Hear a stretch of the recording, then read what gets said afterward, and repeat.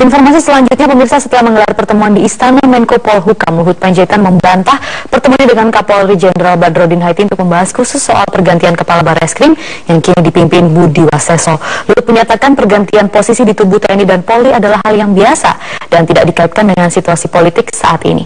Dalam hal ini, Luhut mengatakan kepada seluruh jajaran aparatur negara, baik militer dan sipil dalam menjalankan tugas, harus memiliki kepatuhan kepada perintah pimpinan tanggapan dari Anda apakah ada pembicaraan, pembicaraan dengan Pak Kapolri dengan Pak Ya, belum sampai ke situ. Hmm. Artinya sudah ada pertimbangan atau penilaian gitu Pak? Ya, bisa saja ada pertimbangan dari Presiden, tapi saya belum dalam posisi untuk uh, mengatakan pencopotan. Dan saya tidak percaya ada pencopotan, bahwa mungkin nanti ada pergantian tempat, itu bisa saja terjadi. Menko Polhukam Luhut Panjaitan pada Rabu malam menyatakan tidak membahas pencopotan kabar reskrim Komjen Pol Budi Waseso.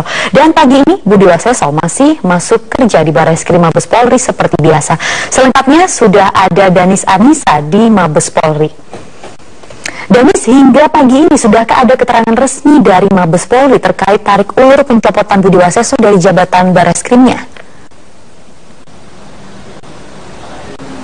Maria isu uh, terkait pencopotan Budi Waseso selaku Kepala Badan Reserse Kriminal Mabes Polri hingga saat ini masih santer diperdebatkan bahkan diperbincangkan banyak pihak.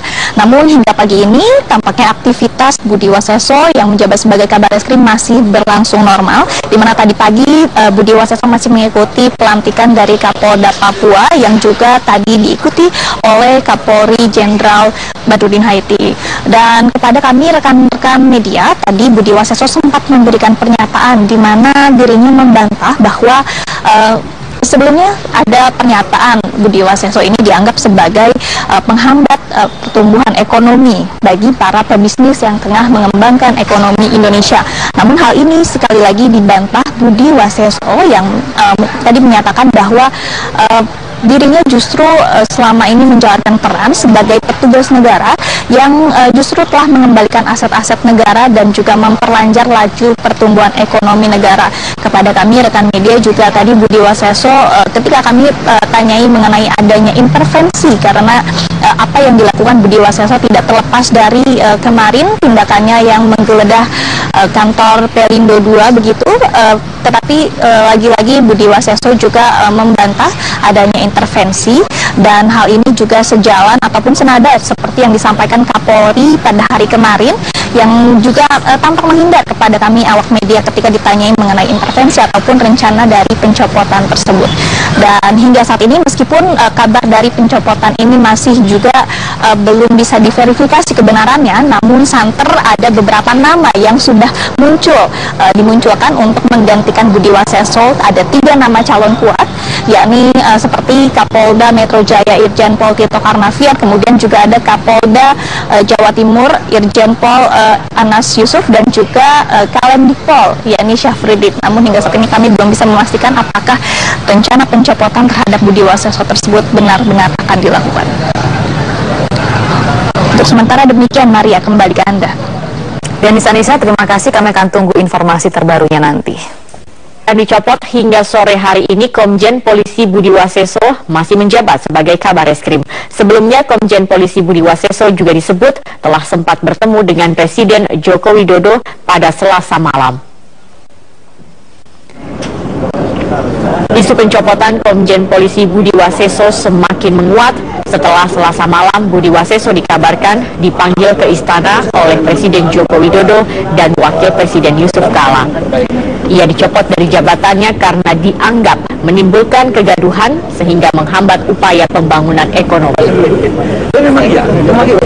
Meski demikian, belum ada konfirmasi resmi terkait rencana pencopotan Budi Waseso baik dari istana maupun dari Mabes Polri. Dan hingga sore hari ini, Budi Waseso masih menjabat sebagai kabar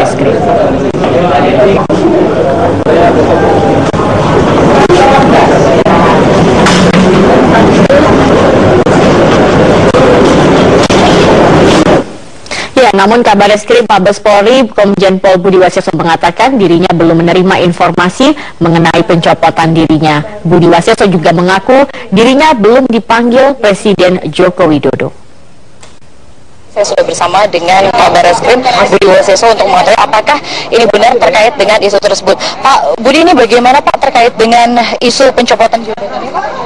Ya, saya malah nggak tahu tentang isu itu ya. Tadi saya malah tahu dari teman-teman bakal ada isu mau pencopotan tentang kabar reskrim atau saya. Nggak ada masalah bagi saya kan gitu. Nah, tapi katanya akan digeser menjadi Pol BNPT ini bagaimana Pak? Nah, malah belum tahu itu kan dari mana beritanya itu, gitu ya. Nah, tapi ini katanya sebenarnya juga terkait dengan eh, ada kemarin Luhut pun juga bilang ini ada penghambatan ekonomi gitu terkait dengan kasusnya dari Erjelino dan juga Pelindo ini gimana Pak?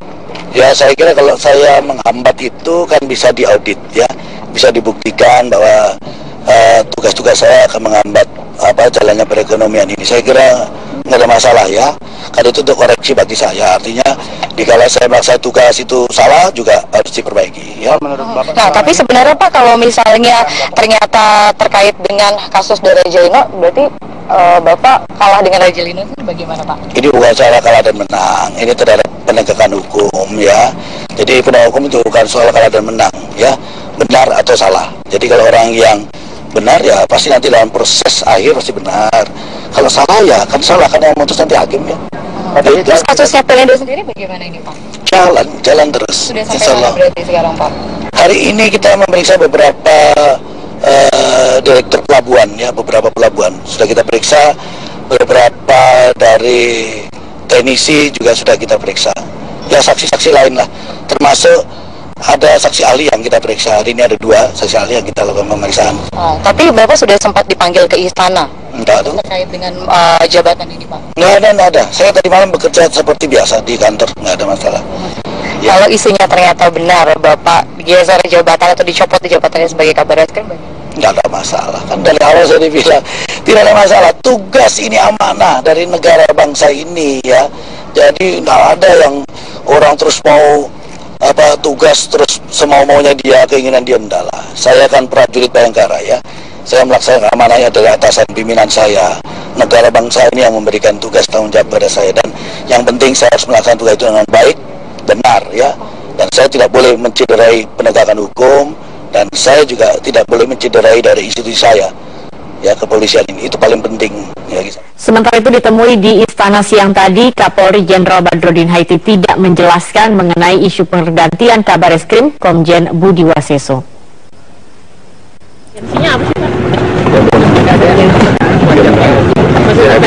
kan kadang-kadang wartawan nanya kok kenapa Kapolda tadi kosong lama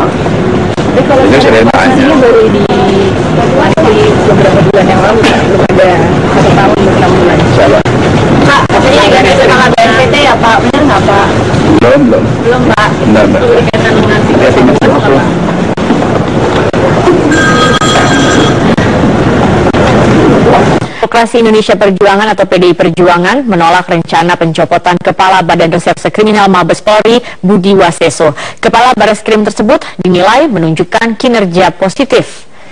Partai Demokrasi Indonesia Perjuangan menilai dalam beberapa bulan terakhir Budi Waseso tengah mengungkap dugaan skandal kasus korupsi yang terjadi di perusahaan badan usaha milik negara. Kasus itu di antaranya perkara Pelindo II dengan kasus dwelling time, kasus TPPI, kasus penimbunan daging sapi, serta pengungkapan dugaan korupsi di tubuh Pertamina.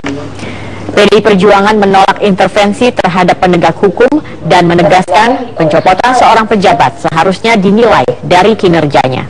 pihak-pihak yang merasa disinggung dari mulai BPPI Ukuran pencopotan seseorang itu harus didasarkan pada ukuran kinerja.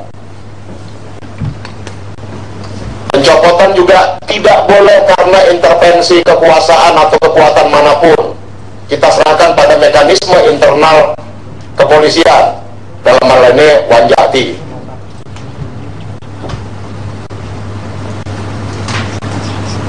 Dan kami menganggap apa yang dilakukan oleh Budi Waseso sejalan dengan keinginan pemerintah Presiden Jokowi dan Wapres Yusuf Kala dalam hal mewujudkan tata kelola pemerintahan yang baik dan bersih.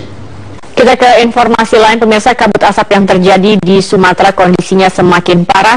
Kabut asap membuat jadwal penerbangan di Bandara Kuala Namu Deli Serdang Sumatera Utara dibatalkan, sementara di Bandara Sultan Syarif Kasim II Pekanbaru sejumlah penerbangan lumpuh total.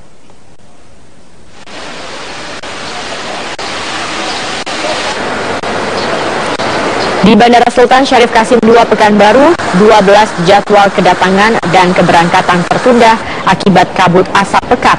Di antaranya jadwal penerbangan Citylink, Garuda Indonesia, Lion Air, dan Air Asia. Pesawat yang menuju Pekanbaru pun tidak dapat mendarat karena jarak pandang di landasan hanya 500 meter.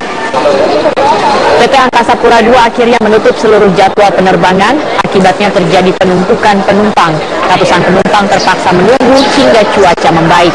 Bahkan puluhan jamaah calon haji yang seharusnya berangkat pada pukul 7 pagi tadi tertunda akibat kondisi kabut asap yang tidak menentu dan semakin parah.